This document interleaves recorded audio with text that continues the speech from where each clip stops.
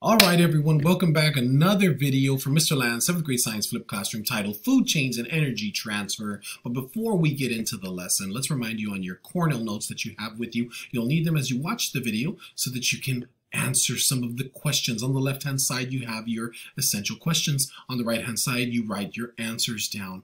And then we will use that in class, turn that in, do a little grade. All right, very excited to be here with you. Let's get the presentation started. Quick reminder, when watching a YouTube video, don't forget good skills when you watch. You want to be able to pause. So if you pause the button, I'll freeze and I'll go like this. Oh, just kidding. No, I was frozen. Not, fooled you. Totally fooled you. Or you can rewind the video of the thing I just said. You, you can rewind the video of the thing I just said. That way you can hear it again, or you can rewrite it down. Whatever you need to do. Good YouTube watching skills when doing a video like this. So let's begin titled Food Chains and Energy Transfers with Mr. Land. So by the end of the lesson, we want to be able to uh, know some hard facts. For instance, how does energy travel through our ecosystem when animals are eating? And we are animals, so we eat. So how is it that energy reaches us? What does it pass through in our ecosystem? What are the roles or the jobs of animals as they are eating? Because they do have a job when they eat. And then, of course, you want to be able to make food chains at the very end. By the time this lesson is over, we'll understand them, and then in class we'll practice them. And then you'll really be a master of food chains. So, um, yes, food. Um, food is delicious. Look at that. Hamburgers and pizza and tacos. So delicious. Oh, Mr. Land took it away. I'm so sorry. Before we can get into the idea of yummy food, let's understand where does it really come from. So what is food really? Well, food is energy. And where is that source of that food? And how does it get from where it begins to us? And what is its journey? Where does it go through? So the question is, where does food really come from? Well, it's energy. So we live to eat that food that is essentially energy. So our bodies are needing energy, our digestive systems, which we just learned about. And we learned about how the digestive system has chemical and physical reactions and interactions. So what is the source? What is the root source of all the energy that makes up food? Take a guess. Take a guess. Here comes the answer. Are you ready for the answer? The answer is coming. The answer is the sun. The sun, that beautiful star that makes up the center of our solar system. That is where food comes from. Think about that next time you're chowing down on a burger. That used to be light. That sun is called radiant energy. It is a wave, but this is not a physics video, so we're not going to talk about that too much.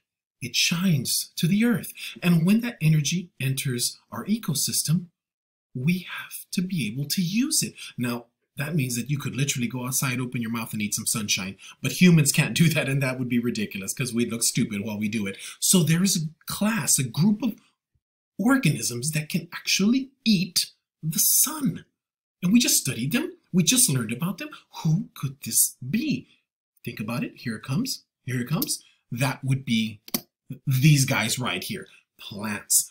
Plants can eat the sun. And when I say eat, I say eat in quotes like that because they can actually use their chloroplasts and chlorophyll to take radiant sun and make food through photosynthesis, which we just learned about not too long ago. So we need these little guys out there in the world so that we can harness the energy of the sun for our food. They're super duper important. All food chains have to start with a, with a plant. So let's follow the flow. Let's look at an example of a single chain. Here is a single chain of energy. I have the sun here on the left, of course. We always know it has to be there. No sun, no energy. And then I notice that there is that beautiful plant. That plant is our energy starter. It eats that, that sun. And then we notice that the animals are following. Notice the arrow is there in a food chain. This is very important because a lot of kids make this mistake. The arrow has to go in the direction of the energy, not in the direction of who's eating. Big difference there. So notice the sun gives energy to the producer who gives energy to the mouse when the mouse eats it. But we don't draw the arrow the opposite way. We follow the energy. Very important that you always follow the energy in a food chain. If you put the arrow in correctly, then the whole chain is totally, uh, totally wrong. So big, big lesson right there. And here is a food chain with a few organisms and the sun very predictable. We can become masters of food chains by learning what are the roles of animals in them. And then before you know it, you'll just start seeing food chains, constructing food chains, and it'll be super easy in the order that they are in the chain. So plants have to come first because they eat the sun. They use the sun as its energy. We call them producers. Producers harness the sun's energy. Your food chain must always start with a producer. If your food chain does not have a producer, it is completely incorrect. Remember that. If you ever see that on a test by any chance, or maybe a quiz, no, no producer at the front, no correction. That, that, that's incorrect. That's totally wrong. Let's follow that a little bit. An animal that does the eating of the animals that they use for energy is called a consumer. The consumer consumes, it eats. You are a consumer because you eat. Koala bears eat. Seals eat. Sharks eat. They consume. Pandas eat and consume. Okay, so any animal that would eat another one for its energy, for food, is a consumer. Excellent. So consumers are broken up into categories. There are three categories for us to really focus on. So we'll start with the first category. So the first animals that eat in a chain have to be able to eat the plants. We call them the herbivores. Notice the prefix there, herb, H-E-R-B, that stands for plant. These are strict vegetarian animals. They eat only plants, like a cow, for instance, eats only grass. That is a herbivore. They do not eat anything else they strictly eat plant. That is a herbivore. Notice that little rabbit with his little cheeks on, right? That is a herbivore. The next category is an omnivore. Omni is a prefix, O-M-N-I, that means both. So these animals can eat both plants and other animals. Monkeys are omnivores because they can eat fruit and meats. Raccoons, oh my god, raccoons are nasty, disgusting, but they can eat both.